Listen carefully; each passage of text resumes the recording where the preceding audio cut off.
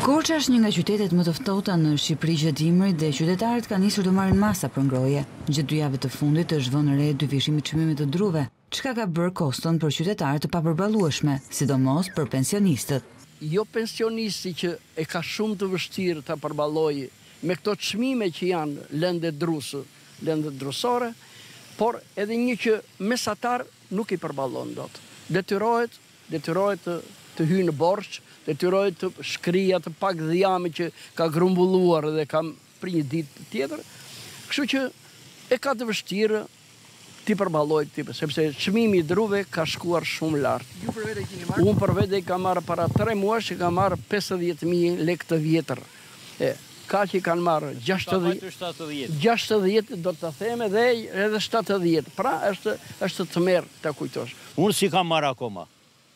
Tashi nuk di, po mentojm të të marr dru vajti një kubik me një me një thes, një thes vajti njëzet e pesë mijë. Ishte tetëmbëdhjetë vjet sivjet vajti njëzet e pesë. Njet. Të de, të vazhdoj me korent korenti siç e dëgjoni vajti me fing tashti thotë ajo ajo që kalon thotë nga tetëqind kilovatë do ta hajë dyfishin a trefishin e e gjobës tashi nuk dimë se si të bejmë të shtillemi me batanijet altë. Të ngrohemi nuk na i mban. Gjashtëdhjetë mijë, e papërballueshme, nga e keqja do t'i marrim.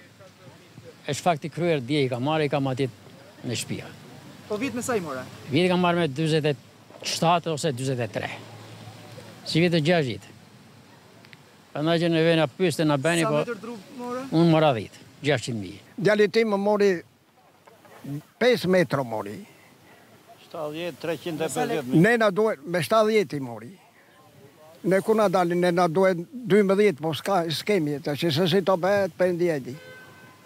S'ka. Sa metër dru ju duhen ju edhe? Dymbëdhjetë, dymbëdhjetë metro më duhen mua që t'ia dal dimrit. S'ia dalim dot, pesë ato ka. Djali iku tash si do bëjmë ne. Të enjten është mbajtur takimi në nivel qarku i thirrur nga prefekti, ku është shoqëruar me debate të forta midis kryetarëve të bashkive të Juglindjes dhe përfaqësuesve të pushtetit qendror. Për kryetarin e bashkisë Korçë, territori që ai administron mund të mbulojë vetëm pesëmbëdhjetë për qind të kërkesës së qytetarëve për dru, çka e komplikon situatën. Fatkeqësisht, Bashkia e Korçës me sipërfaqen e saj pyjore brenda territorit të saj mund të japë leje dhe të furnizojë një sasi shumë të limituar drush zjarri, gjashtë mijë metër sterë, të cilat janë dy mijë e katërqind metër sterë do të plotësojnë nevojat e institucioneve arsimore, kopshte dhe shkolla të cilat i kemi të mbuluara dhe pjesa tjetër Janë për t'u përdorur nga popullata, ndërkohë që kërkesa është disa herë më e madhe. Për prefektin Nertil Jole, duhet të bëhet një planifikim më i mirë për vitet në vijim, duke u bërë thirrje bashkive të krijojnë projekte disavjeçare.